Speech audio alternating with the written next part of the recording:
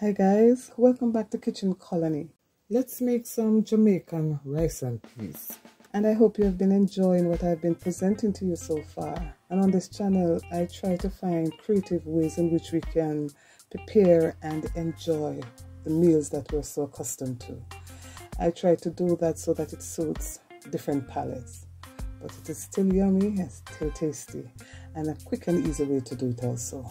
I'd like to thank my subscribers and my viewers for supporting my channel. It is really appreciated.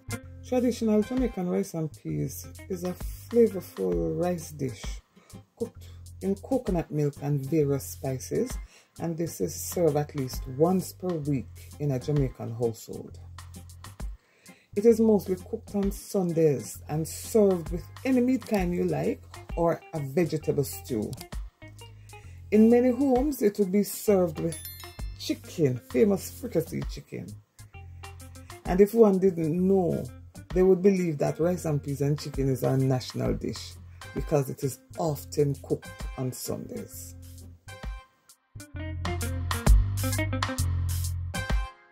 Now we're gonna make some rice and peas and you to make we call it rice and peas but we actually use kidney beans now you can use any beans you want gungo peas black beans whatever you like. But in Jamaica we always use the red kidney beans. I'm going to measure out some of the beans but normally I don't do this. But to give you an idea of how much I'm going to use I'm going to use a measuring cup. That's one cup. I think I might use a little bit more. A cup and a half will do. It depends on how much people you're cooking for, but I'm cooking for about five people, so I don't need more. The next thing we're going to do is wash our beans properly. Because sometimes our beans come with stones and stuff. And I usually put it in a strainer so that anything that is at the bottom will go, go in to the next container. And if we have any bad ones, we pick them out. So we're going to wash our beans properly. Now we're transferring it to the pot. And then, traditionally, we soak our peas. And we usually soak it overnight, but at least five hours. And we do that for a few reasons. One, some people get gassy after eating the peas. And two, some people have heartburn. And thirdly, we soak to make it tender.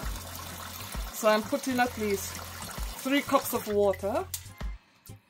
I'm going to cover it.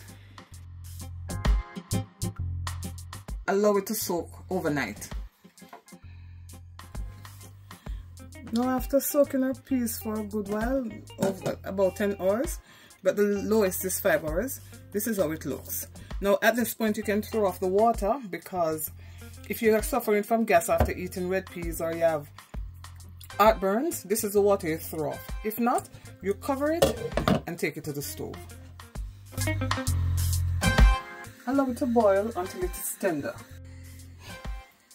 Now here are the rest of the ingredients for the rice and peas. I would have loved to have a dry coconut but I can't so I'm using a tin of coconut milk, some green seasoning,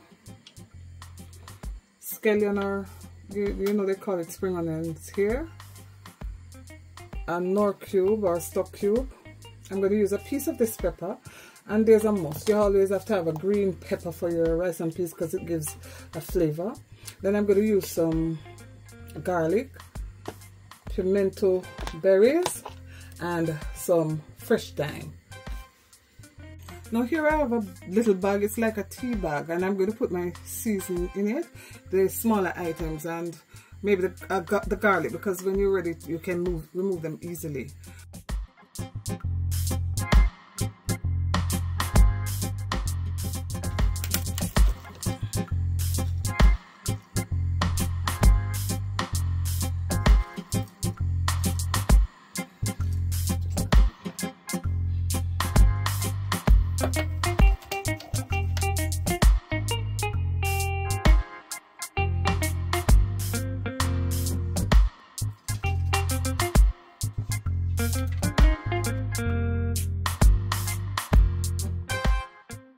Here you have it, my seasoning bag is now ready.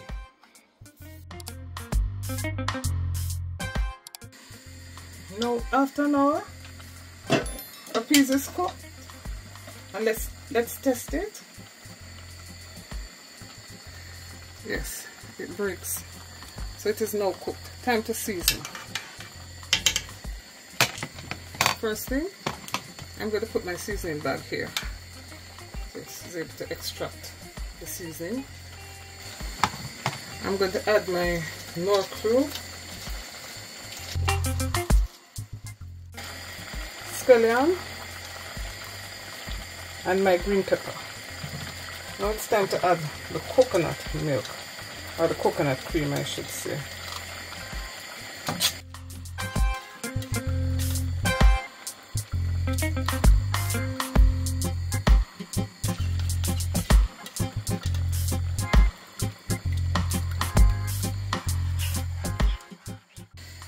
Teaspoon, a tablespoon of green seasoning.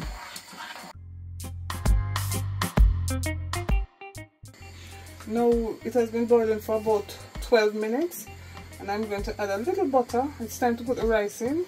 I've washed three cups of basmati rice and I'm putting a tablespoon and a half of butter in.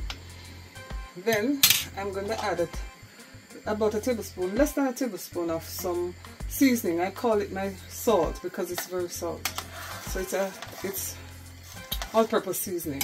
And then to balance the flavor, I'm going to add a little sugar, stir, and I'm going to taste to see if I need a little bit more salt. Then I add my rice. Three cups. Now we stir. We stir rice. And allow it to cook until the water goes down. Now I'm looking for my seasoning bag. And it's on top, so I'm leaving it on top. Now the water has gone down, i am going to adjust my stove to low, very low, and allow that water to steam the rice. And I'm going to cover, allowing it to steam. Now steaming after about 20 minutes, adding sprinkle of water sometimes. It is now finished. So I'm removing my season bag. I'm taking away the scallion and then I'm going to fluff the rice. I'm going to move this four times, fluff the rice and start again. Here we have it. Shelly rice and peas. This is a typical Sunday dinner at um, in Jamaica. Rice and peas.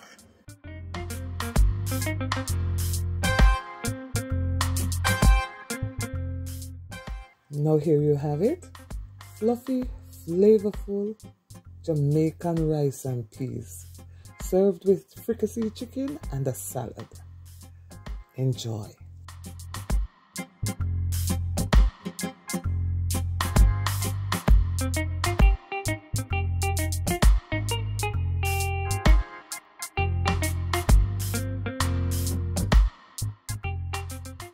Thank you for watching my video.